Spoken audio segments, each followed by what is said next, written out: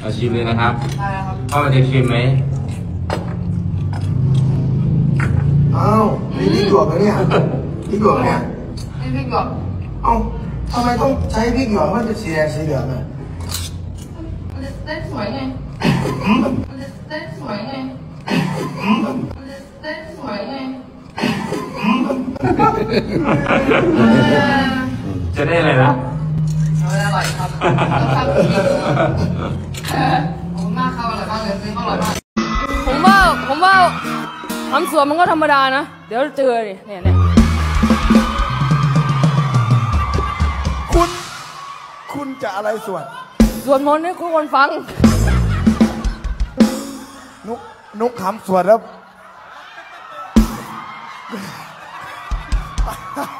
ห้องบ่ต้องบอกกันเลยดอกคุณต้องขำสวดเหมือนกัน อะเออ อย่าไปสวดอย่างอื่นไม่เอา คิดว่าตัวเองหล่อเลยน่ารัก พี่ทั้งหล่อแล้วก็น่ารักนะนี่ผมเปลี่ยนใหม่เป็นบนดวงจันทร์แล้วนะ